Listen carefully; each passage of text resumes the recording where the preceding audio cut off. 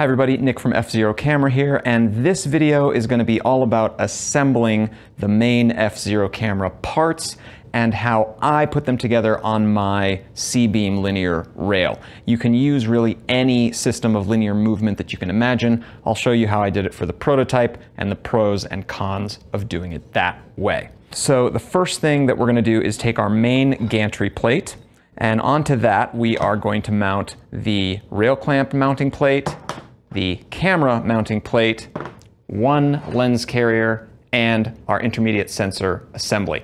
Now this has already been assembled. I've made a video for how to assemble the intermediate sensor, so I'm not gonna go into that right now. Let's start here with the main gantry plate. We're gonna take the side that has more rows of holes on it. That's gonna be where we mount the rail mounting plate. These low head screws have a three millimeter wrench head. So you want to be careful not to over torque and strip them. Be gentle. To ensure you don't strip your screws, make sure you're pushing in as you screw and make sure you don't over torque. Okay, that one's on. Next, we're gonna put the lens carrier on and we want the bellows clips facing inward toward where the intermediate sensor is gonna be.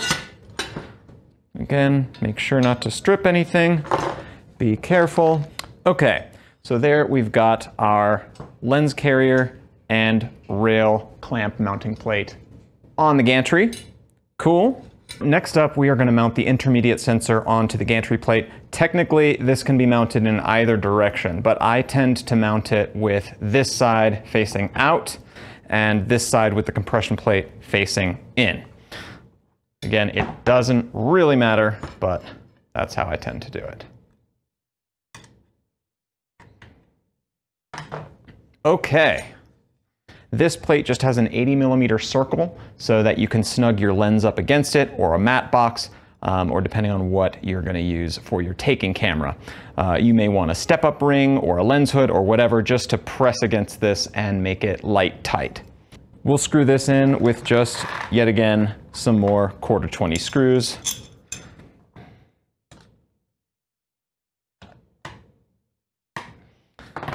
Okay, so there's the camera side plate on. And you know what, we might as well go ahead and put on the camera plate. We can always adjust it later. So I'm gonna go this way. You can go this way if you have a very tiny camera, but most cameras, you should use it in this orientation and you'll be able to get all the height and distance adjustment you need to make sure everything is nice and centered. So the kit comes with some slightly shorter quarter 20s and some slightly longer quarter 20s. We're gonna use the longer ones in this case to make sure they reach all the way through and get nice and deep into those threads. You definitely want four screws attaching the camera plate onto the rail plate. Okay, there we go. So there is our finished gantry subassembly. It's got the intermediate sensor, the gantry plate, lens carrier, camera plate, rail clamp, camera plate. All done, looking beautiful. All right, next up is gonna be our objective side. So this lens carrier is identical to the one on the taking camera side. It's just that instead of the taking camera plate, we're going to mount our lens. Now the f-zero camera comes with this lens, which will make an effective 67mm f0.6, but you can use any large format lens that will cover 8 by 10. And as long as you have a board that you can screw onto this plate or drill holes such that you can screw them onto this plate, it will work with the system. So again, we just need to screw this all together. Okay, and now this is our objective side subassembly done. So we've got the objective side and the taking camera side all done. What are we going to do? So again, all we need to do is to set them on some linear system so that they can slide closer and farther away from one another. And that is how we focus the system. Anything that moves forward and backwards, and it can either be that this side moves or that the lens side moves, it doesn't change the fact that that will focus the system. everything will stay the same. For the prototype, I used this. This is a C-beam from the world of 3D printing and assembly. And the benefits are that it is extremely rigid and sturdy and easy to mount a number of things onto. A lot of you have asked, how do I mount this beam to a tripod? And right now I've got a clamp here. I'll, I'll get to this in a little bit more detail, um, but basically the general idea is that these beams have slots all over them into which you can insert small threaded nuts. And there's a variety of these nuts. I don't recommend the drop-in nut because they can easily twist out. Then there is the slide-in variety. These two are both slide-in variety nuts. This one's just a little plate, and this one is a thicker nut. Um, either of these work really well. I tend to use this type in my assembly. So this is a slide-in nut. I've got a link to it in the description. And the way it works is you literally just slide it in. And now you have an M5 threaded connection that can work to mount just about anything. On this assembly, I'm using four of them, and I will show you why in a moment. So let's slide in those four. There we go, we're good there. And then onto this rail, I'm gonna slide these gantries. So these gantries are made by the same people who make these rails. Uh, again, you can use any, or, any linear movement system but I'm gonna use these gantry plates. What I wanna do is take my objective side subassembly and mount it onto this plate. So I'm gonna do that with a couple more screws. I had to drill some of these holes out to do so, so you may need to do that depending on what system you buy and you're using, but they should work just fine regardless.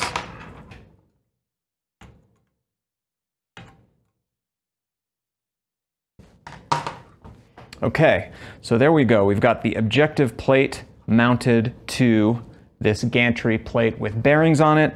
And so now it will slide right into our system. There we go.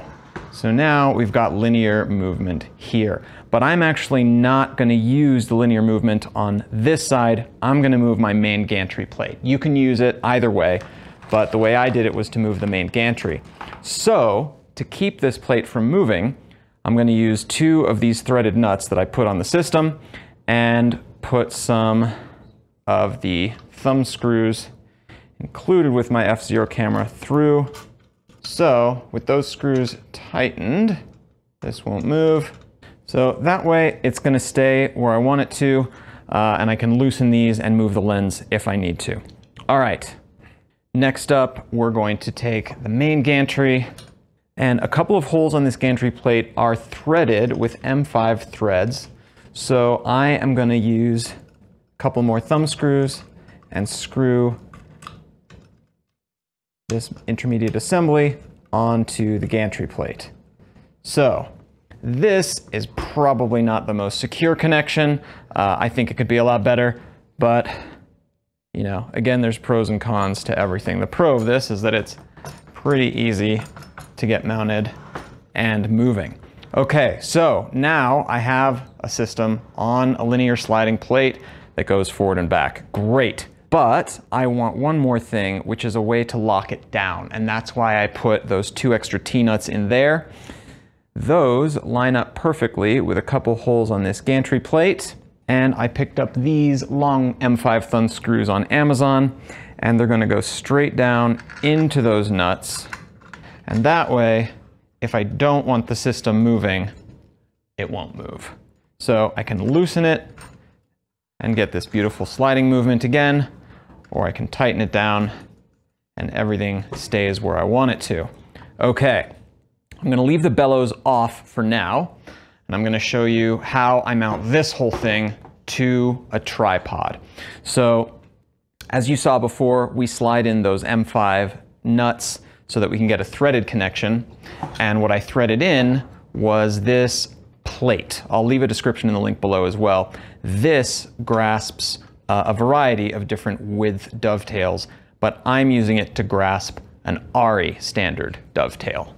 So this is the tripod plate that came with my tripod, a Vinten 250. It's a really beefy tripod.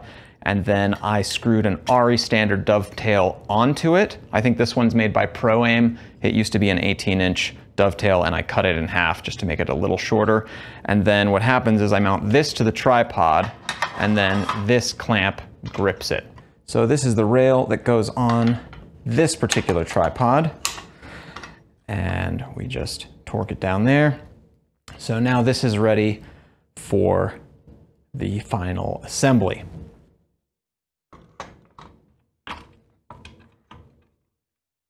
There we go. Okay, so I can torque this down. And now it's on the tripod and ready for use. So this is my F-Zero camera pretty much as I use it, obviously without the bellows on. But uh, what are the pros and cons of using it this way?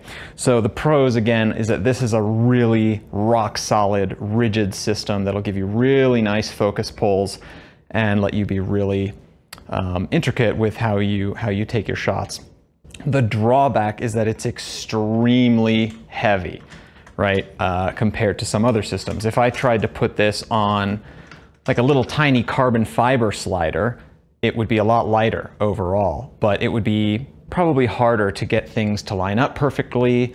Um, and it might be harder to get it onto a tripod, I'm not sure. This Vinten 250 is a really beefy tripod. This can balance up to like 70 pounds uh, of payload, and most tripods aren't quite that strong. So with this system, I can, I can do a real easy, you know, video movement if I want to. Uh, but that's not going to be the case for every version of this system. Uh, obviously, I haven't mounted the camera yet, and you can mount literally anything here that you want, as long as it has a field of view large enough to get this uh, and doesn't have a crazy amount of distortion doing so, like barrel distortion, like a fisheye lens or something, then you'll get the same image, whether you shoot with a DSLR or a Hasselblad or a Phase One. You know, it doesn't really matter uh, what you put back here, as long as it has fairly sufficient resolution. So that's about it for the basic assembly.